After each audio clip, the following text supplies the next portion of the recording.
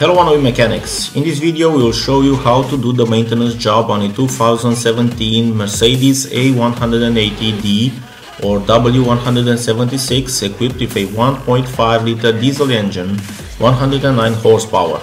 Anyone can do this job as long as they follow the simple steps illustrated in the tutorial. You will need just a few cheap tools and no mechanical expertise.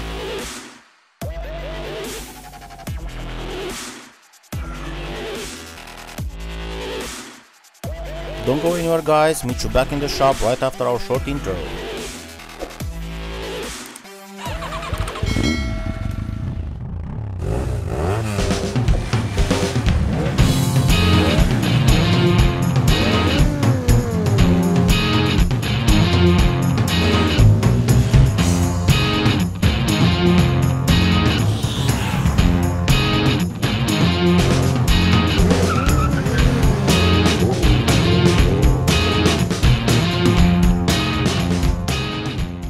Tools you will be needing for this operation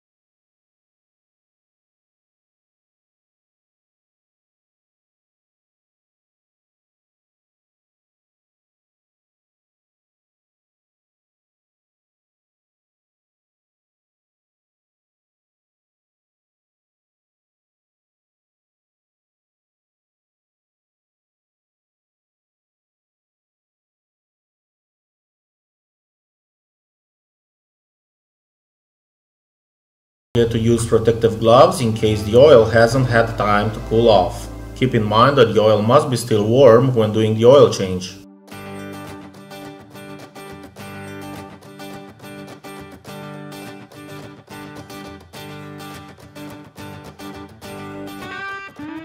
Remove the oil feeding cap along with the dipstick for a better oil flow.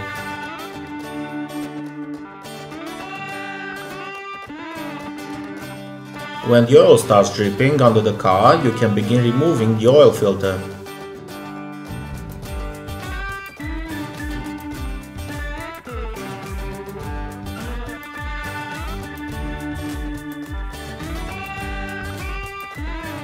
Grease the seal of the new oil filter, clean any oil spills and thread it in place.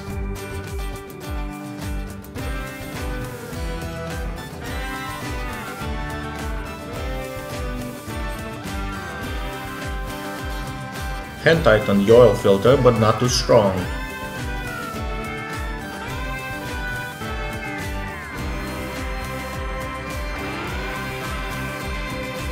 Hand tighten the drain plug or, if you have a torque wrench, apply a torque of 20 Nm.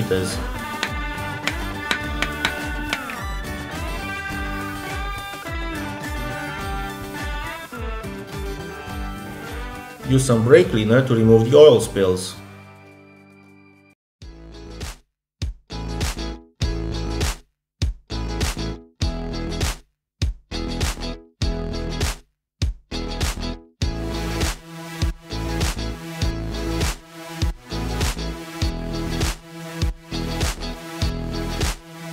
You'll have to slowly pour 4.8 liters of 22951 Mercedes-Benz oil as the feeding line is quite narrow.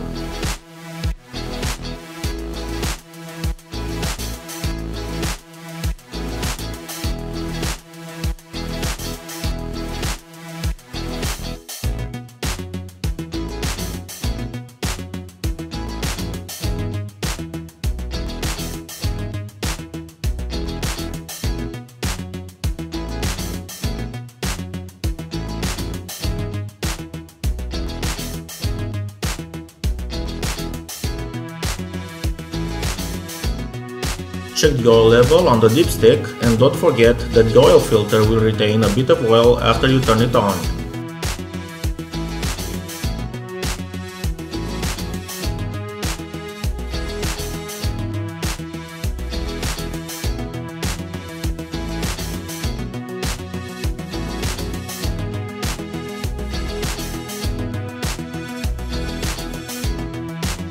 To replace the air filter, you will just need a T20 Torx to remove the two bolts holding the cap of the air filter's housing.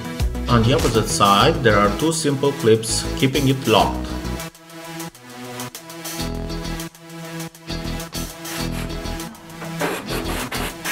Take out any remaining dust using compressed air or a vacuum cleaner.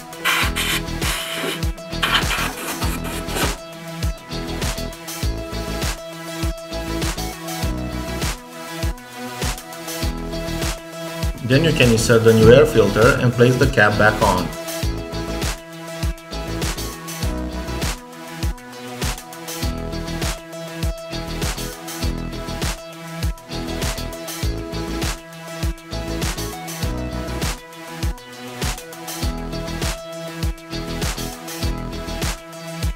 Replace the pollen filter, you need to go under the dashboard on the passenger side and just pull the two clips on the cap of the pollen filter's housing.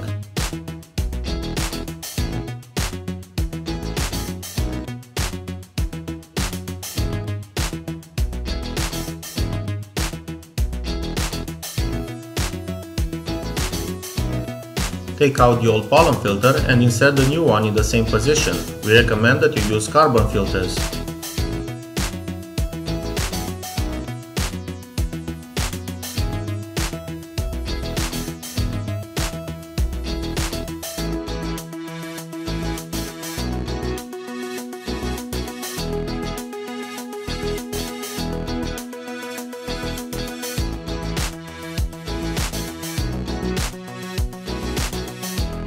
To replace the diesel fuel filter, you will need the angled extender and the 8mm socket. There are two 8mm bolts on the bracket that holds the fuel filter in place. In order to remove the metal bracket, you will have to disconnect the wiring.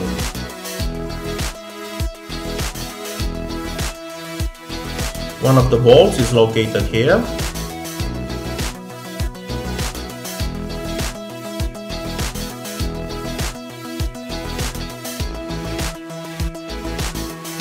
and the other one here.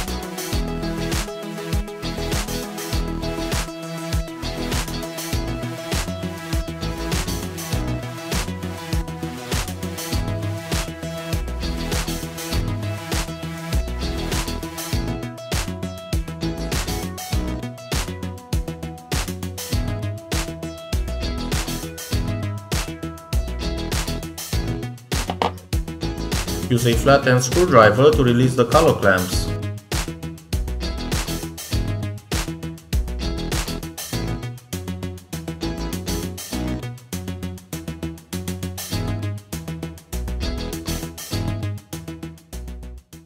Then gently remove the lines without damaging them in order to take out the old fuel filter.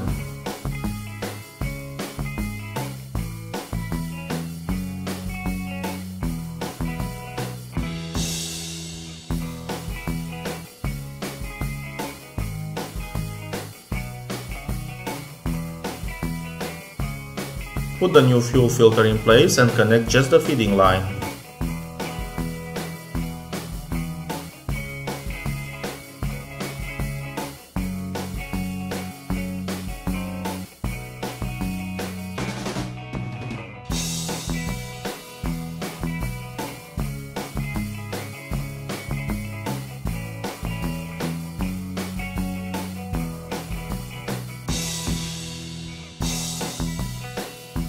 Get the bleeding pump and connect the hose to the other pipe of the fuel filter.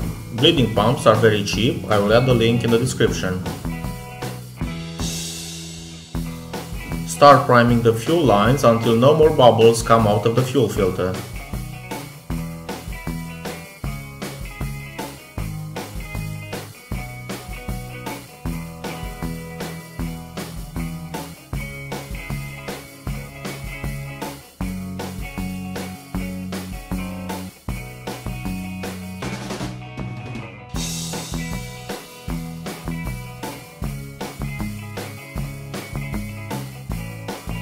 Use the pliers to tighten the cowl clamp on the feeding line and then remove the priming pump's hose, obstructing it so you don't get any fuel spills.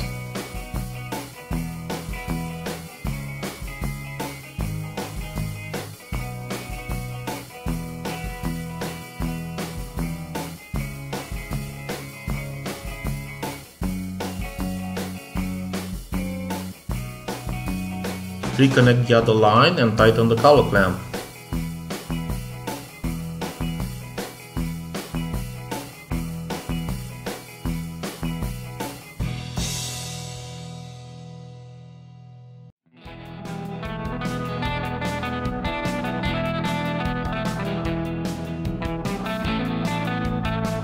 Place the metal bracket back around the fuel filter and thread the two bolts holding it in place.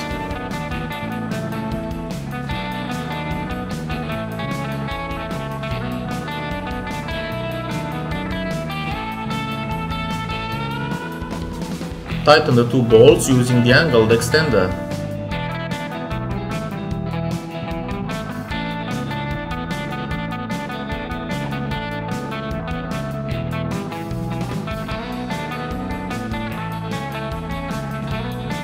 Insert the electrical connector in the harness.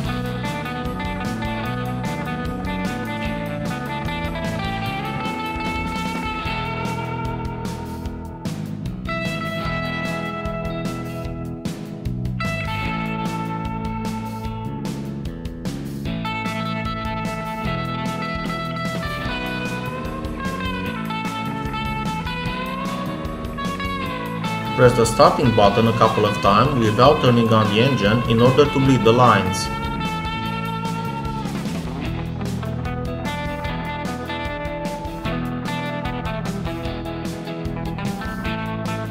If all is fine, you can now turn on the engine and let it run for about 5 minutes.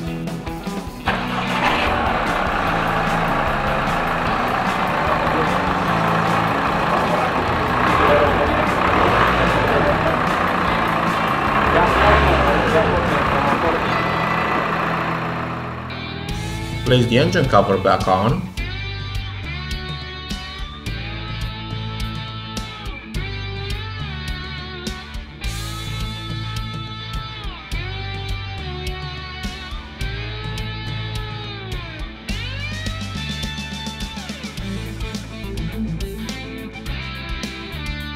The splash shield